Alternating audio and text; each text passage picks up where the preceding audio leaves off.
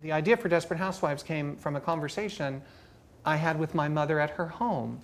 We were watching coverage of the Andrea Yates trial, for those of you who don't remember the woman in Texas who drowned all her children. Mm-hmm. And I'm sitting there on my mom's sofa and she's smoking a cigarette and I'm sitting there and I got I turned to her and I said, "Gosh, can you imagine a woman being so desperate that she would hurt her own children?" And my mom took her cigarette out of her mouth and went, "I've been there."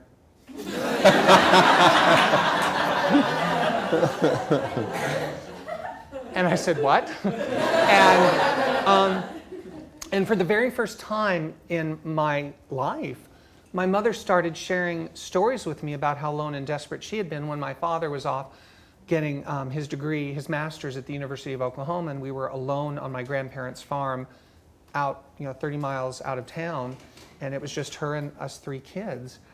And I was stunned. I had always seen my mother as the perfect wife and mother, a woman who aspired to nothing more than to be a wife and mother. So to find out that that life had caused her pain was a, a complete epiphany. And I said, Well, good heavens, if you've had moments of desperation in those years, every woman's had them because you wanted mm. that life.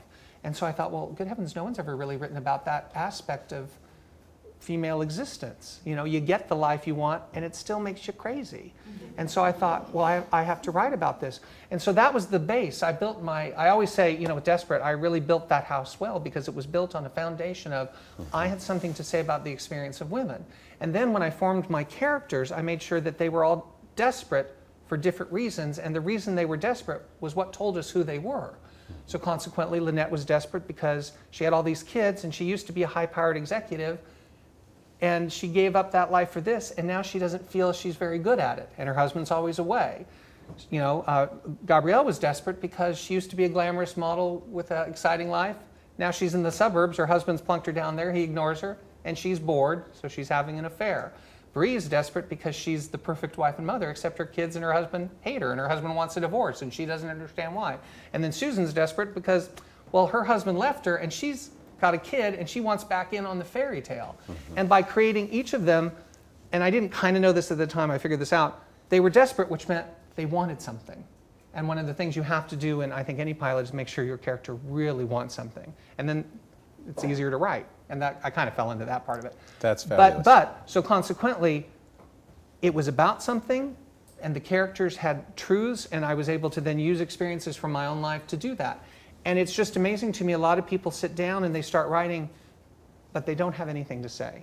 So I think for all of you, whatever your, your experience is in, those of your parents, you know, your friends, family, whatever, it's, it's part of your job as a writer, director, whatever.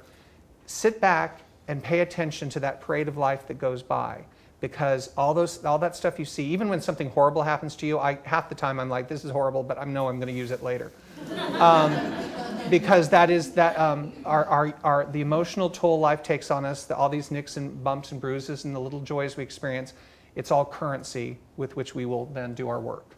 That is a brilliant note to end on and to go to the Q&A.